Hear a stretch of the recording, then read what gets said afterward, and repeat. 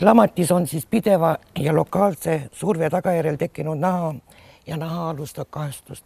enamjagu on need just voodihaigetel patsientidel või mis on need kõige suuremad siis riskifaktorid? ongi see, et on voodihaige, teadvushaige, tundlikkuse häired, pidevalt niiske nahk, toitumise häired, rõhk luulistele osadele ja hõõrdumine. Näitan siis ka need kõige, ütleme, selili lamades on siis kõige ohtlikumad kohad. Kuklakoht, õlg, küünarnukk, ristluu ja kand. Elu on näidanud, et kõige rohkem lamatisi tekib, kõige rutem tekivad just nimelt ristluu piirkonda ja kandade piirkonda. kui pats-, patsient on külili, on ood kõrval, õlal, reielupöördel, põlvel ja pahklul ja istudes ratastoolis on samuti abaluu, ristluu piirkond, istmikuluu ehk istmikukönd, kannad ja päkk et te peate lihtsalt seda kõike teadma, eh, kui teil on kodus selline voodis lamaja inimene. kõige parem on lamatisi ennetada, kuigi see on ränk, raske töö, aga siiski lamatiste ravi on veel rängem ja raskem. ja selleks on olemas meil igasugused profülaktilised nahahoolduskreemid. näiteks Helosan nahakaitsekreem altpesuks on Menalin Soft Skin, neid on väga palju, ma olen ainult mõned üksikud välja toonud.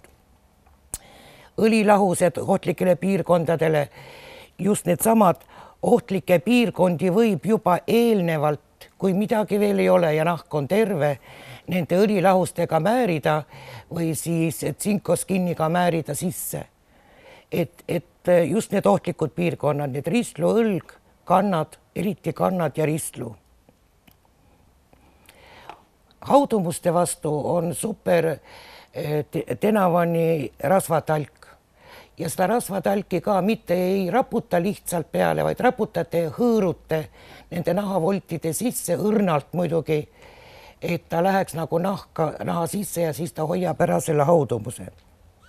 loomulikult kõige tähtsam on pesemine, pesemisvahendid, soe vesi ja seep väga palju on abivahendid ja mida ka täna meile räägitakse, kui te tulite siia loengule, nägite, et firma oli pannud igasugused abivahendid juba välja ja Invaru näitab siis igasugust tehnikat, kuidas ja mismoodi kasutada. et kindlasti, kui teil on kodus selline hooldatav, kasutage neid libistamislinasid, toepatjasid, kannakaitseid väga hea asi, mida Invaru ja Terviseabi laenutavad, on madratid, lamatiste vastane madrats. ainult ma tahan nüüd sellest rääkida, kui teil kellelgi on juba see kodus olemas, et mida siis teha. lamatiste vastane madrats ei hoia ära lamatisi, patsienti peab ikkagi keerama, pöörama, istuma panema, kui, kui on võimalik.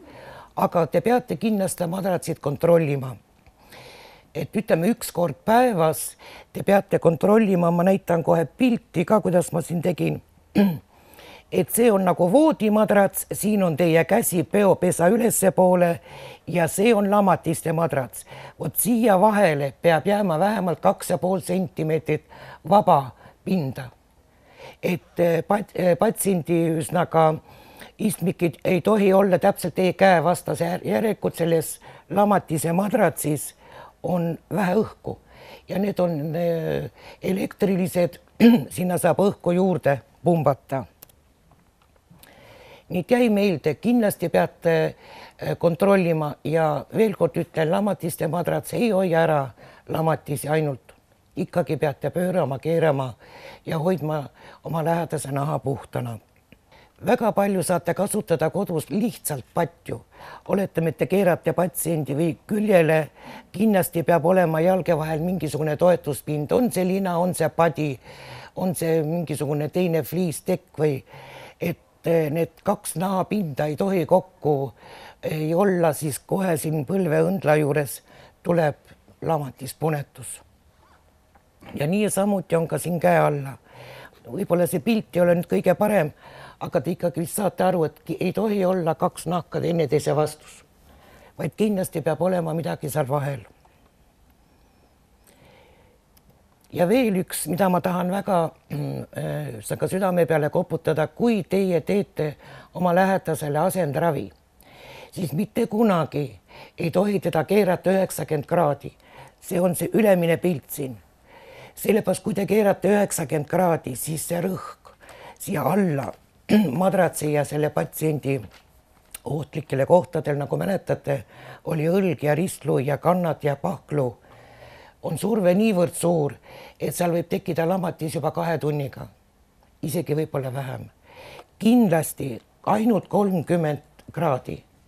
see tähendab, toetate kolmkümmend kraadi ja täpselt samuti jalge vahele padi, käe alla ka mingisugune toetuspind ja et ta tagasi ei kukuks. see kõik nüüd oleneb, kuidas see kui te, kui haige on teie lähedane, et võib seal selja taha panna ka veel ühe toetuseks padja, et ta püsiks vähemalt kaks-kolm tundi sellisel asendis ja siis jälle kahe-kolme tunni pärast muuta teisele küljele ja soovitan selga jätta ikkagi ööseks, öiseks magamiseks, et päevaga ühelt küljelt teisele veel parem, kui ta suudab olla kõhuli. aga kui ei suuda ja te ei oska teda panna, siis ma isegi võib-olla arvan, et äkki Reiu õpetab, kuidas panna õieti patsienti kõhuli. õpetad? Just, sest see on väga oluline. et siis ei, ei teki kopsupõletikku ega midagi. ja muidugi on söömine, asendravi, nahapuhtus ja toitumine Õnneks on meil müügil, müügis apteekides proteiinisisaldusega igasugused toidulisandid ja olen siia välja toonud nutrikombi ja nutrimiksi või drinkmiksi. Neid on igasuguse erineva maitsega, see oleneb, mis, mis teie lähedasele maitseb. et saate neid osta ja see nagu, nad on tugeva valgusisaldusega ja ka aia, aitavad nagu vereringet ja aitavad ära hoida neid lamatisi. ja loomulikult väga oluline osa on vee joomine. mitte piima, tee, vaid just nimelt vee vähemalt liiter poolteist päevas. Ei, ta ei pea korraga ära jooma, ööpäeva jooksul sundige, tuletage meelde, võta jälle lonks, võta jälle lonks ja võta jälle lonks. nii et toitumine on ka väga oluline koht eh, lamatiste ärahoidmiseks ehk ennetamiseks kui siiski on nii, et te olete teinud sada imet, te olete keeranud, te olete teda toitnud, te olete hoidnud tema naha puhtana, aga ikkagi lamatis tekkis. Ma ei ole välja toonud täpselt konkreetseid selle lamatisi ravi, sest see on ikkagi meditsiiniline pool, kui teist keegi muidugi ise ei ole meedik. et lamatisi on siis nagu neli astet. esimene on lihtsalt punetus, teine nagu vill kolmas on, tekib juba nahakahjustus, haavand ja neljas aste on siis juba selline nekrootiline, et sellise tume-musta katuga ja eriti ruttu ta tekib kandadel. Et just nagu ei olegi kannal midagi viga, aga kanna need, kannad on süsimustad. ja siis on, siis on vaja hakata, nagu öeldakse, alustama ravi tõin välja, mida meie nagu hooldusravikliinikust kõige rohkem kasutame kui on esimese astme lamatis, siis me kasutame igasuguseid hüdrokolloidplaastreid ehk soolalahuga plaastreid. Need on, võib peale panna kuni viieks päevaks ja siis jälle uuesti. kui on aga juba haavandid või haavad, siis Prontos on loputuslahus või samuti soolalahus null üheksa protsendine salvidest enamus kasutame Braunovitoon salvi, kasutame igasuguseid keele hüdrogeele, imavaid vahtsidemeid, kui on väga suur tugev põletik, korsoleks, ühesõnaga see spekter, ravimite spekter on väga suur. Kui ütleme seal kümme-viisteist aastat tagasi oli ka vee ja vesinik, siis praegu ma ütlen, et see ravivõimalus on muidugi suur, aga lamatise ravi allub ravile väga halvasti et no nagu ma ütlesin, ta võib tekkida kahe tunniga, aga ravite pool aastat. et kellelt siis küsida abi? Kui juba lamatis on tekkinud ja ise sellest jagu ei saa, siis kõige parem on pöörduda oma perearsti poole. meil Tallinnas on väga hästi paika pandud koduõe teenus, see tähendab, ükskõik, kas te elate Lasnamäel või Mustamäel või hoopis Koplis, saate kasutada koduõe teenust. nüüd on kaks asja, kas see koduõde hakkabki käima ja teie lähete seal ametist öö, sidumas või võib ta õpetada teile, kuidas seda teha ja millal seda teha. Ja, ja on, nagu öeldakse, teie probleem lahendatud.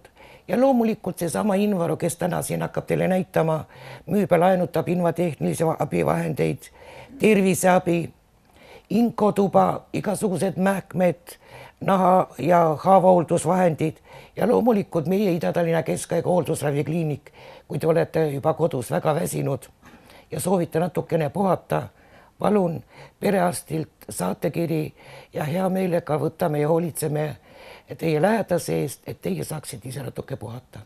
sest teame, kui väga ränk töö on hooldamine. tihti on niimoodi, et patsient või ütleme, teie lähedane on täitsa heas seisus, aga te ise olete ära kustumas.